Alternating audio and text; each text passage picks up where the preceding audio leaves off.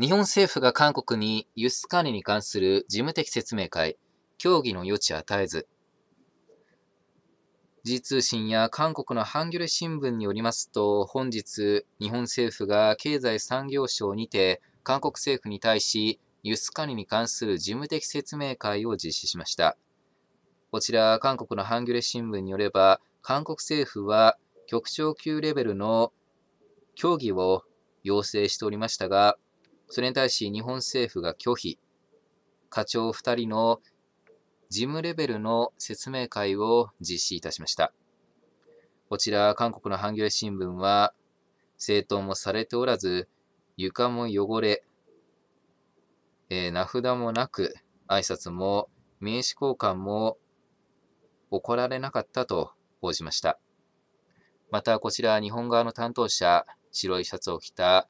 2人の方々のテーブルには、分厚い法令集と思われる本1冊と、書類の束がですね、2組確認できるんですけども、日本政府はこういった書類に記されているであろう、韓国政府による不正輸出の問題について、法令に基づき説明を行ったと、実際には取り調べのような形になったんじゃないかと思われますが、また今回の説明会について、菅官房長官は、韓国の輸出当局から事実確認を求められ、事務レベルで対応するもので、あくまで事実確認を目的にしたものであり、韓国側と協議するようなものではないと、記者会見にて説明をいたしました。こちら、韓国政府が協議だったと主張しないように、日本政府が何重にも対応をとっておりますが、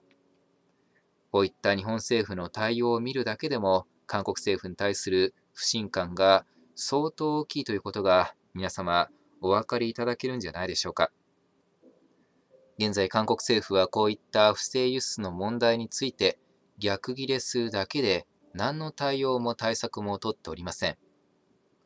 このまま韓国政府が不正輸出を放置すれば、日本製品が海外に流出し、悪用されて大量破壊兵器が製造され、その大量破壊兵器によって多くの人命が奪われてしまう可能性がございますので、日本政府には今後も韓国政府が貿易管理、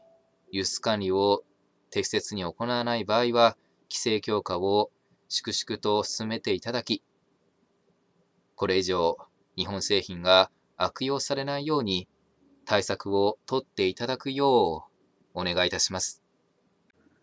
以上になります。ご清聴いただきありがとうございました。